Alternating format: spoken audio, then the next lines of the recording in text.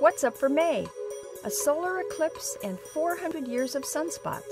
Hello and welcome. I'm Jane Houston Jones at NASA's Jet Propulsion Laboratory in Pasadena, California. A unique annular solar eclipse occurs on May 20th for lucky observers in a path from Eureka, California to Lubbock, Texas. The rest of the United States will see a partial solar eclipse. An annular eclipse occurs when the moon is at its farthest distance from Earth in its monthly orbit. At this time, the moon appears smaller than the sun, covering only 94% of the sun's disk. The sun will appear as a bright ring or annulus around the dark silhouette of the moon.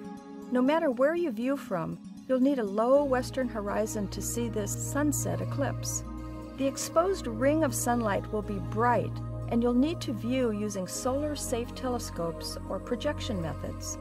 Though only 6% of the sun's surface will be visible at greatest eclipse, it will still be 60,000 times brighter than the full moon and will damage your eyes if you look directly at it.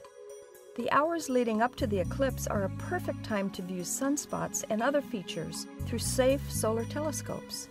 The first sunspots were observed nearly 3,000 years ago, but an English monk, John of Worcester, made the earliest existing drawings of sunspots in 1128. Galileo's solar observations, exactly 400 years ago in 1612, were made at the same time of day every day, so he was able to track the motion of the spots across the disk of the sun.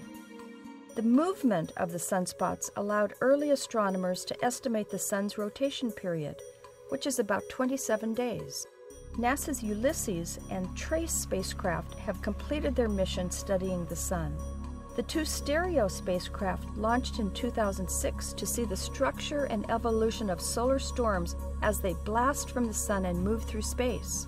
And SOHO has been studying the sun from its deep core to the outer corona and the solar wind since 1995.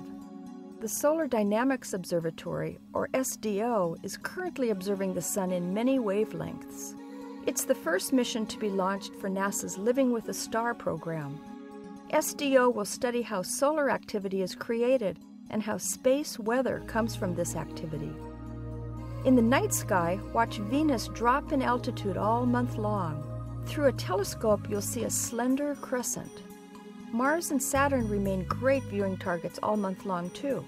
You can read about this month's solar system theme at solarsystem.nasa.gov/yss for Year of the Solar System. And you can learn about all of NASA's missions at www.nasa.gov.